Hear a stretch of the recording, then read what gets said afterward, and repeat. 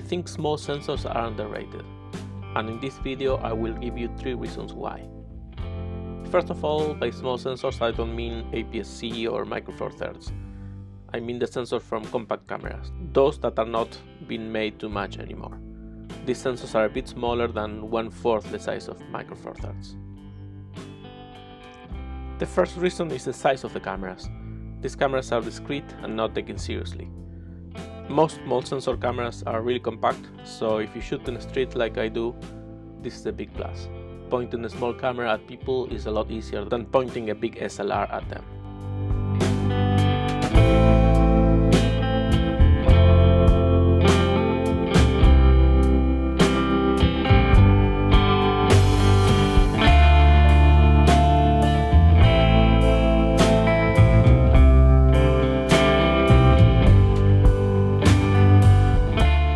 Second reason is that the depth of field you get is really deep, so everything's in focus.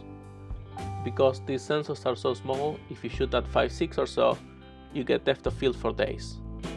You can focus at 3 meters, set the aperture to f5.6 or f8, and have everything between 1.5 meters and infinity in focus. Then you worry only about moments and compositions, and that's a huge advantage.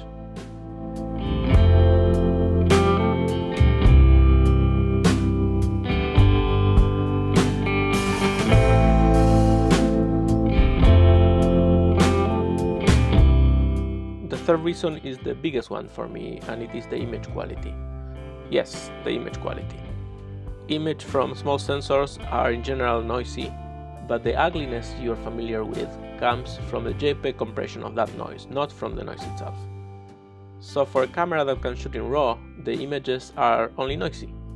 And I think there's a sweet spot for these small sensors uh, around 12 megapixels and at ISO 200 or 400 where the noise looks great to me. It's organic and almost filmic, and can add to the mood of a photo quite a bit.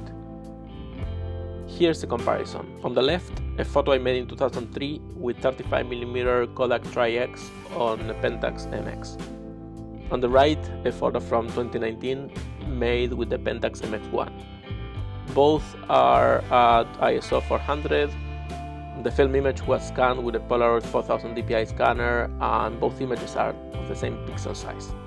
Zooming in, there is more detail in the digital photo than in the film one, while the grain or the noise structure, if you will, feels about the same. You could argue that it's possible to get much better quality with the 35mm camera, but the comparison I'm making is in real life situations. Shooting ISO 400 film without a tripod, focusing and framing real fast, that kind of thing. In those circumstances, I think the image quality is absolutely comparable. So there you have it, three reasons why I think small sensor cameras are super underrated. Frankly, I think that digital has spoiled us quite a bit. As I always say, when my photos fail, it isn't because they are blurry or too grainy, it is because they're boring. Check out my real photos at my website, juanbuhler.com, and until the next video, cheers and goodbye.